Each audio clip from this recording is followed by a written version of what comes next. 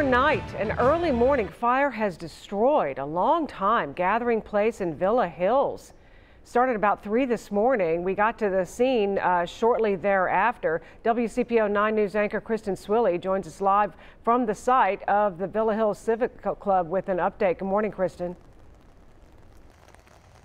Yeah, good morning, Julie. I can tell you firefighters have cleared out just within the past few minutes here, and you can sort of just kind of barely make out. I know it's jet black behind me, but that is a gutted building, and it's so unfortunate because this was a community gathering place for five decades. We spoke with one of the directors who tells us they were just having parties here a couple of days ago, and now this happens, but they're already vowing to rebuild by the wait to find out what exactly happened in this fire in the first place. So I can tell you the building was donated by a family, and it's been around since 1961 when this area was mostly farmland. And since then, it has hosted countless events for the community, and like many institutions, it struggled financially at the height of the pandemic, and they were just turning things around when this fire happened.